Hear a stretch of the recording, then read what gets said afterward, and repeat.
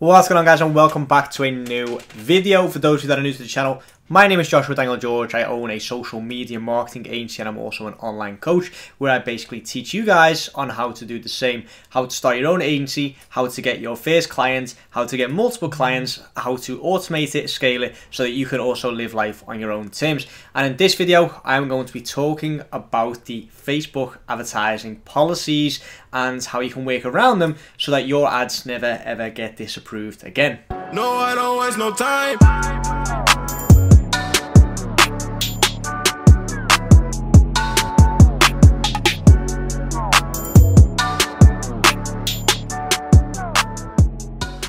Okay guys and welcome back to the video. So as I mentioned in the introduction today we're going to be looking at Facebook's advertising policies because I get so many questions about this guys and you know I have had my fair share of experiences with this as well.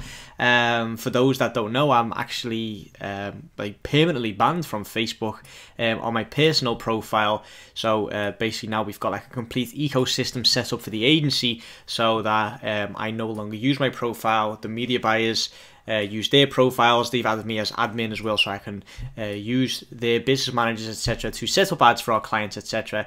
Um, but like I said, you know, my personal profile, so not the business manager, not the ad account, my personal profile is permanently restricted from um, ever using Facebook, basically for advertising uh, reasons.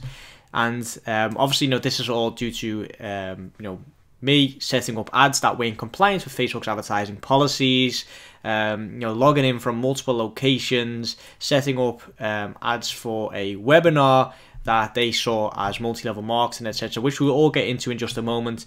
And you know, obviously, with the amount of experiences that we've got, uh, the amount of clients that we've had uh, currently or in the past, etc. You know, I now have my fair share of experience with Facebook's policies and how to go around getting ads um, approved, getting you know your accounts back, etc. But also, um, you know, basically how to go around Facebook's policies so that you don't get any issues moving forward. Okay. So um, anyway, from a media buyer's point of view, I highly recommend you go to facebook.com forward slash policies forward slash ads just to basically educate yourself on everything that is allowed and what is not allowed um, from Facebook because Facebook are constantly updating this. And there is one important thing that you do need to remember with Facebook is that the uh, first and number one priority always is the user experience. Okay, so media buyers, businesses, etc., they all come secondary to uh, the user experience. So, you know, obviously they want us to use their platform, they want us to spend money on Facebook advertisements, but it can't harm the user experience in any way, shape, or form. So if we set up an advertisement uh, that says, you know, get rich quickly, earn money online, start an online business, etc., someone does that, gets banned, you know, because obviously there are a lot of people out there that are just selling a, a fake program without any you know experience to back it up, but just selling the theory, you know, and then the customer will buy it, get you know disheartened or get uh, you know feel ripped off put a complaint in with Facebook, and then it's Facebook's issue to deal with, and Facebook just don't want that to happen in any way, shape, or form because obviously it harms Facebook's reputation. So Facebook is extremely strict with things like this right now because, you know, just think of the amount of people that are on Facebook on a daily basis, the amount of advertisements that are getting published, the amount of campaigns that are being run. Facebook just needs to basically be ruthless with it because, you know, otherwise there's too many moving parts, there's too many issues to deal with. So the way Facebook do it now is you set up a campaign, you publish an advertisement, and then Facebook's crawlers, so basically their algorithm, automatically detects if this advertisement is compliant, yes or no. Okay, so it's not a human being that's reviewing your advertisement thinking, hmm, you know what, um, according to section B of paragraph 59 chapter 2, uh, this advertisement could potentially be um, you know, rejected. It's not not unlike that. Okay, it's an it's just an algorithm that checks it. Then, if you think that the algorithm has got it wrong, which in a lot of cases it does, because obviously you know this is just a robot that checks your ads in like a tenth of a tenth of a second, um, and then rejects it or approves it.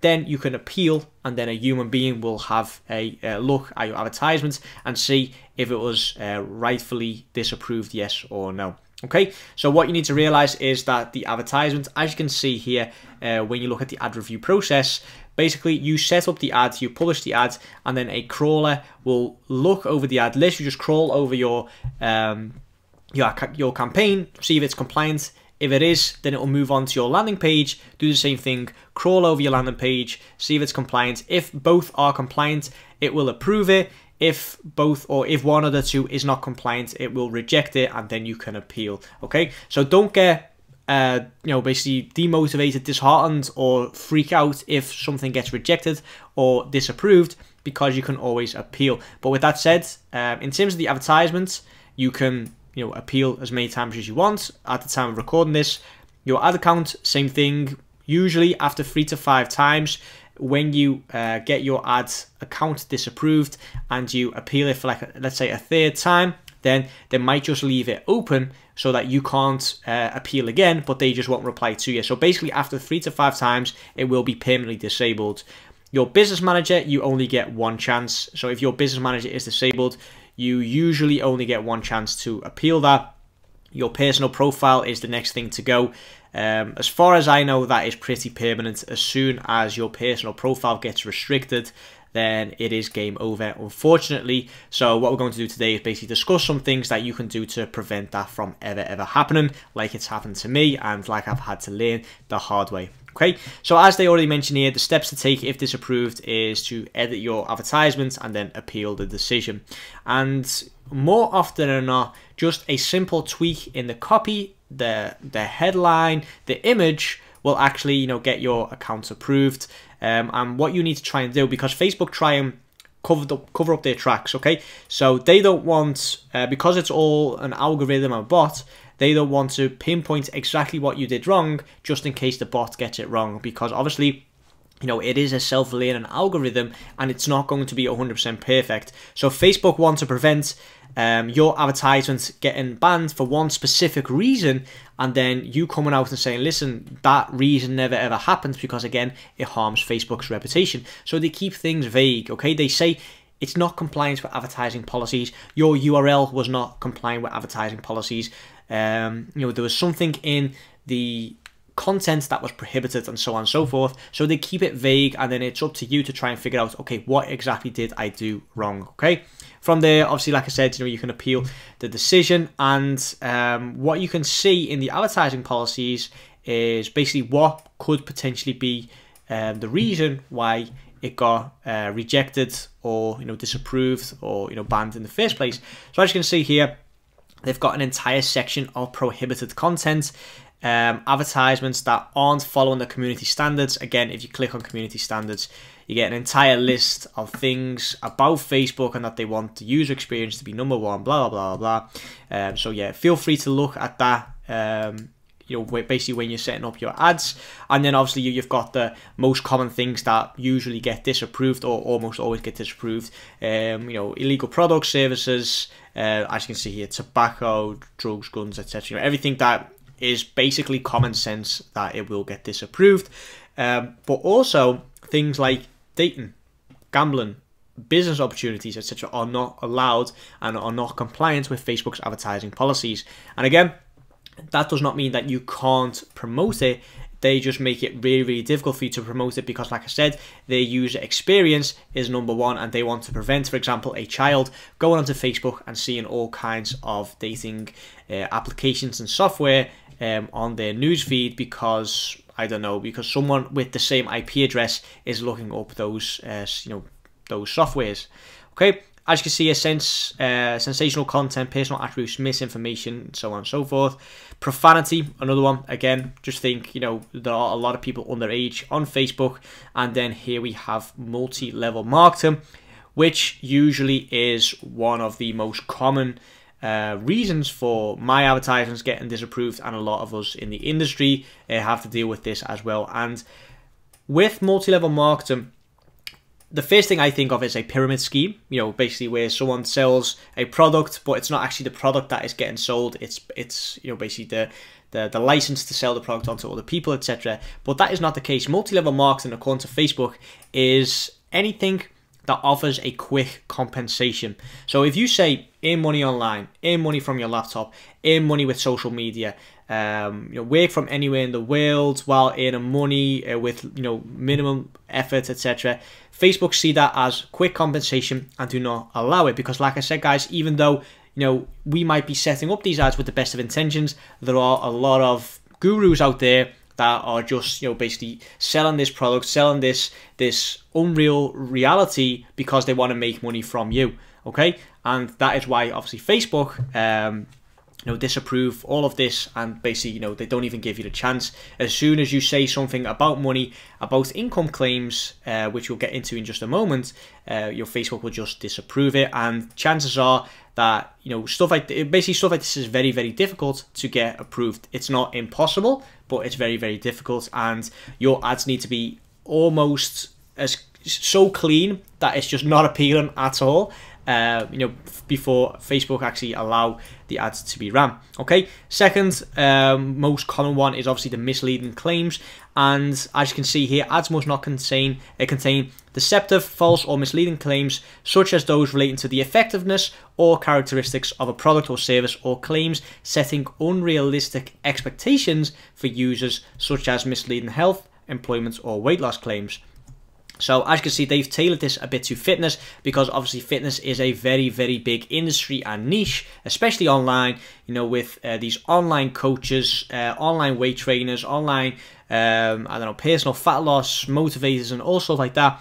And obviously the most common way to promote something like that is to say, lose weight quickly, lose fat instantly, um, you know, lose that belly fat, get that six pack, because those are those are keywords and search terms that people literally search for. You know, every, everyone has tried to Google how to get a six pack or how to lose weight or something like that, um, and that is why people within this niche and industry use that in their copy, in their headline, because they know that is what people are looking for. But not everyone will get the same results in that short amount of time. You know, there are people that are uh, suffering from obesity, etc., and they will not get a six pack overnight. So by saying that, you know, you're creating a false perception of reality and it is a misleading claim for that person. Again, just think Facebook wants the user experience to be number one, so they will uh, remove your advertisements or disapprove, reject it, and so on and so forth. Same goes for business opportunities.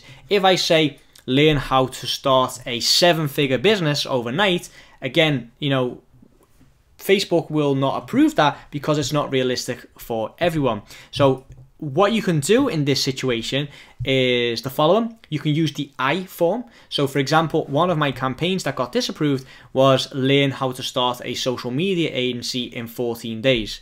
I'm talking to you. And for uh, some people, 14 days might be too short. So that is a false perception of reality. Facebook rejected it.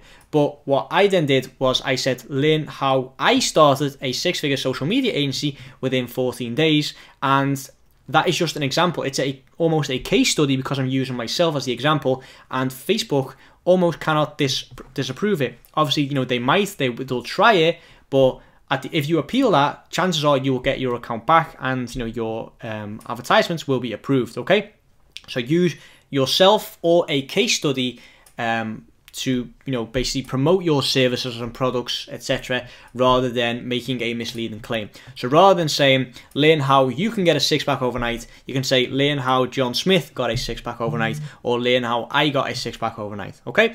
So moving on obviously spyware malware stuff like that uh, is not allowed. And um, actually moving back to the the fitness related stuff before and after images are not allowed either. And that doesn't count for just fitness, uh, but obviously fitness is the, the first example that came to mind when you see this is what Jane looked like beforehand, and this is what Jane looked like after following XYZ diet. Okay, if you have those two images in the one um, creative, that is not allowed because again, we are creating a false reality, a false perception of reality, unrealistic expectations.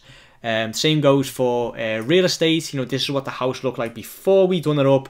This is what our kitchen looked like uh, after we've uh, implemented these tiles and this new method of minimalism or whatever.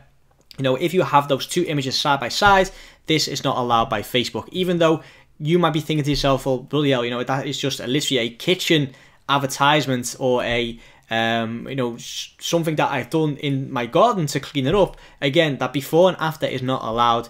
Um, so what you can do in this situation is run a video where you have the before picture first and then the after picture after it. So rather than side by side, you have them uh, basically one by one. Facebook can't really say anything about that. Um, again, like I said, they will try and there will be times where they do reject it, but you can appeal and you are more likely to get it back. Okay, so moving on, um, like I said, before and afters, misleading claims, uh, multi-level marketing, and then obviously, like I said, uh, alcohol dating, money and gambling, lotteries, pharmacies, and so on and so forth aren't allowed either. So um, what I highly recommend you guys do if you have a client, a new client for your agency, if you are looking into running ads for yourself, just go to facebook.com forward slash policies forward slash ads. Okay, so that is all I've got for today. If you are thinking about running your own social media marketing agency and you want my personal help with it, you want me to literally take you on as a client and help you get those clients in help you set up those Facebook ads that are compliant so that you don't get your clients' ads uh, or you know accounts uh, rejected, then I will leave a link in the description box down below where we can just hop on a quick strategy call just to see if we are a right fit for each other. You know, I don't take on a lot more students because obviously, you know, my time is limited. That is not fake scarcity or anything like that. Literally, you know, there's only so many clients I can take on to you know to keep that level of quality high and that level of interaction high as well. Um, so like I said, that is why we have that um, quick strategy call to see if we're a right fit for each other. But for now, I'm going to wrap up this video. Thank you so much for watching. If you liked or enjoyed this video, please leave it with a thumbs up and subscribe to the channel for more. And I'll see you guys in the next video.